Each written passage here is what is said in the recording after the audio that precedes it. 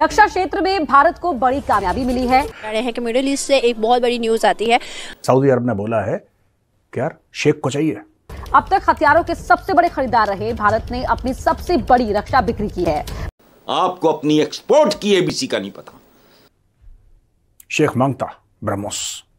अब शेख माँगता तो शेख को मिलता। भारत ने 2800 करोड़ की ब्रह्मोस मिसाइल बेचने का करार किया made in India BrahMos missile की डिमांड पूरी दुनिया में तेज़ी से बढ़ती जा रही दुनिया टेक्नोलॉजी की तरफ़ जा रही है इंजीनियरिंग गुड्स की तरफ़ जा रही है ए सुथना बनाई जा रहा है बनियाना बनाई जा रहा है अंडरवेयर बनाई जा रहा है। हम मिसाइल वो लॉन्च करते हैं जो दुनिया में बंद हो चुके होते हैं। उसके बाद हम लॉन्च करते हैं।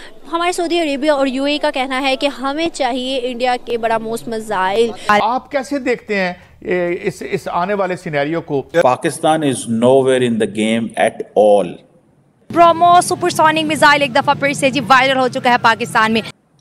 हमें तो ये क्वेश्चन किया जा रहा है पूछा जा रहा है कि आपके इलेक्शंस ठीक नहीं हुए हमें बताएँ कैसे इलेक्शन ठीक होंगे। भारत दुनिया में अब हथियारों का एक्सपोर्टर बनता चला जा भारत बड़े एग्रेसिवली ब्रह्मोस मिसाइल को प्रमोट कर रहा है दोस्तों। एवरीबॉडी इज़ सपोर्टिंग इंडिया हर कोई इंडिया को सपोर्ट कर रहा है और बड़े तगड़े अंदाज से सपोर्ट कर रहा है। अगर हम देखें तो हम अपने आप को एटमी ताकत कहते हैं। फिर भी हमारे मिडिल ईस्ट से ये नहीं आया कि पाकिस्तान के मजाइल चाहिए, बल्कि इंडिया के मिसाइल की उनको ज़रूरत है। क्या रीजंस हैं जो कि इस साल अगर हम देखें तो मिडिल ईस्ट का ज़्यादा रुझान इंडिया की तरफ़ आ रहा है। ट्रेड भी बहुत ज़्यादा हो गया है। पाकिस्तान को बैकेंड कि हम अपने मिडिल ईस्ट की बात करें, ना सऊदी अरेबिया और दुबई का, यूएई का कहना है, आज ये कहा है उन्होंने कि हमें जो है वो इंडियन मिज़ाइल चाहिए। क्या आपको लगता है कि उनका रुझान ज़्यादा इंडिया की तरफ़ क्यों है? अगर हम ये बात देखें कि दुबई में ज़्यादा इंडियंस हैं, क्या यही बेनिफिट्स उन्हें नज़र आते हैं कि वहाँ पर वो अपनी इन्वेस्टमेंट को लेकर आते हैं? अगर हम पाकिस्तान की बात करें, हमारे मिडिल ईस्ट के साथ तो उनका रुझान ज़्यादा यहाँ से कम हो रहा है। ट्रेड अगर हम देखें तो ज़्यादा इस साल भी ज़्यादा इंडिया के साथ हुई है, पाकिस्तान के साथ नहीं हुई। वाई देखें जी, जहाँ तक मिज़ाइल टेक्नोलॉजी का तो अल्हम्दुलिल्लाह हम पाकिस्तान वाले मिज़ाइल टेक्नोलॉजी में इंडिया से बहुत आगे हैं।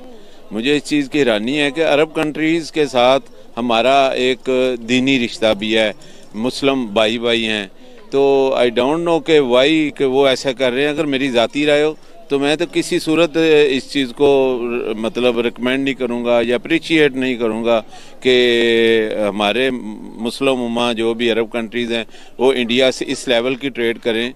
उन्हें क्यों सर क्यों क्योंकि उनकी मोहब्बत जो सारी है ना वो मुस्लिम उमा के साथ होनी चाहिए। वो ट्रेड के बेनिफिट्स जो हैं वो दूसरे वो करें। हम मुस्लिम उमा को बेहतर क्या देंगे? हमारे पास मेड इन पाकिस्तान कौन कौन सी चीज़ एक वर्ल्ड डिफेंस शो हुई थी सऊदी अरेबिया में रिसेंटली कंक्लूड हुई है दोस्तों। तो उसमें अलग अलग देश आए और ये बड़े बड़े वाइड लेवल भारत में भी होते हैं डिफेंस के शोज़ डिफेंस एक्सपोज होते हैं ना भारत में। कितने कितने होते हैं? सऊदी अरब में हुआ। वर्ल्ड डिफेंस शो नाम ही उसका रखा वर्ल्ड डिफेंस शो यानी कि सऊदी अरेबिया ये दिखाना चाहता है कि ये एक ग्लोबल शो है। यानी कि बेहतरीन से बेहतरीन हथियार वहाँ पे, हथियार बनाने वाली कंपनीज़ वहाँ पे सऊदी अरब में आई और उन्होंने अपना सामान दिखाया। तो दोस्तों, भारत की ओर से वहाँ पे मिस्टर अजय भट्ट, जो कि minister of state for defence हैं, वो और मिस्टर सोहेल खान और his excellency Sohail Khan, the Indian ambassador to the kingdom of Saudi Arabia, वो वहाँ पे थे। और उन्होंने ये बताया कि साहब ब्रह्मोस मिसाइल जो है, वो भारत का वहाँ पे जो, जिसको कहते हैं ना मेन जो आइटम था on show that was the BrahMos missile Bharat बड़े एग्रेसिवली ब्रह्मोस मिसाइल को प्रमोट कर रहा है दोस्तों। उसके दो तीन कारण हैं। सबसे पहला कारण यह है कि ब्रह्मोस मिसाइल का कोई काट नहीं है, कोई तोड़ नहीं है। दूसरी चीज़, इसमें जो डेवलपमेंट हो रही है, उससे क्या हुआ है कि ब्रह्मोस मिसाइल आप समुद्र से चला सकते हैं, आप ज़मीन से चला सकते हैं, आप हवाई जहाज़ से चला सकते हैं। अब इसका रेंज इंक्रीज करके 900 किलोमीटर तक जा सकता है। तो दोस्तों, आप समझिए जरा कि ये चल क्या रहा है, पूरा मैटर क्या है और लोग क्यों इंटरेस्टेड हैं? पहली चीज़ ये है top of the line technology है और भारत बड़ा कीन है। ये रूस और भारत का एक, जिसको कहते हैं कलेबरेशन है। ब्रह्मोस यानी कि ब्रह्मपुत्रा और मॉस्कोवा। ये दोनों नदी हैं, मॉस्कोवा नदी है, रूस में और ब्रह्मपुत्रा भारत में है, असम में आप जानते हैं। इन दोनों के नाम से इन पहले पहले वर्ड्स इनके लिए और ब्रह्मोस करके बनाया। दिल्ली में इनका, दिल्ली कैंट में इनका ऑफ़िस है दोस्तों। अब वहाँ पे ब्रह्मोस मिसाइल दिखाई गई दुनिया भर के लोगों ने ब्रह्मोस देखी और ऐसा बोला जा रहा है कि सऊदी अरब ने बोला है कि यार, शेख को चाहिए। शेख माँगता, ब्रह्मोस। अब शेख माँगता तो शेख को मिलता। ज़ाहिर सी बात है, ऐसा तो हो नहीं सकता कि शेख मांगे और शेख को ना मिले तो शेख को मिलेगा। लेकिन दोस्तों, क्यों चाहिए ब्रह्मोस मिसाइल सऊदी अरेबिया को? हमने फिलीपींस को दी, फिलीपींस बड़ा खुश है। थोड़ा सा डिले हो गया है उनका, क्योंकि वहाँ पर बारिश बहुत हो रही है और जहाँ पे उसको एक्चुअली लगाना चाहते हैं वो बारिश खत्म होने के बाद ही वहाँ पर ब्रह्मोस मिसाइल लग सकती है। फिर एक बार लग गई, फिर बारिश हो, बर्फ़ हो, उससे दो रुपए का फ़र्क नहीं पड़ता। अब सऊदी अरब सऊदी अरब के दुनिया भर के दुश्मन है दोस्तों। दुनिया भर के दुश्मन है राइट और सऊदी अरब के ऊपर लोग हमला भी कर रहे हैं। खासतौर से यमन की ओर से सऊदी अरब को डेंजर है। वहाँ पे हुथीज हैं, जो सऊदी अरब को पसंद नहीं करते। ईरान वाले सऊदी अरब को पसंद नहीं करते। चाइना ने चाहे इन दोनों के बीच में दोस्ती करवा दी हो।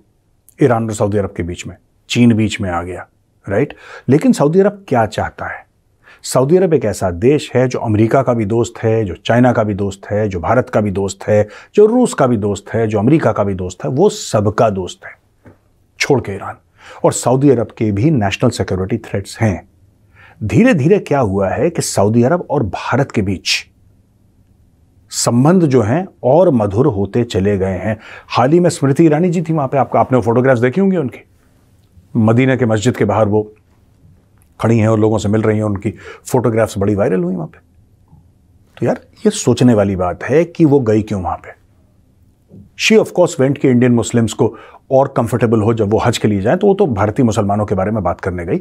लेकिन एक और बड़ी बात हमें सोचनी पड़ेगी दोस्तों, ये जो ब्रह्मोस है सिर्फ़ यहीं पे हम लोग रुक जाएँगे, हम तो आर्मेनिया को हमने पिनाका दिया है। तो क्या भारत और कौन कौन से ऐसे हथियार हैं?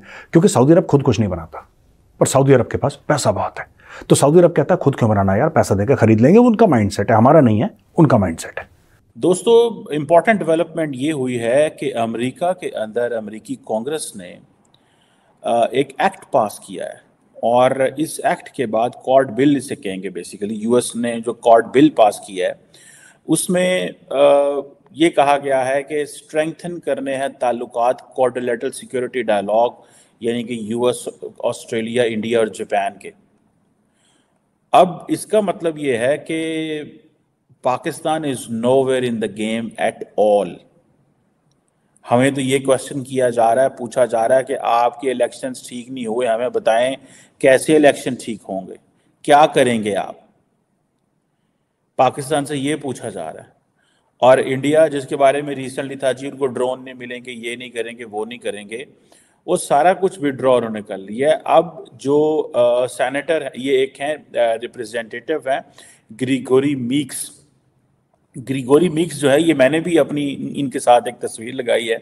He was here in Islamabad and I met him थोड़ा अर्सा पहले और uh, मैंने कहा ज़रा अपनी भी पब्लिसिटी हो जाए। और ग्रिगोरी uh, मिक्स जो हैं इन्होंने एक uh, एक एक्ट जो था वो पा लेके आए थे।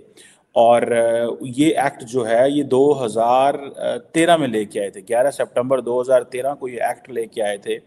जिसको अभी जो है वो बिल की शक्ल दे दी गई है।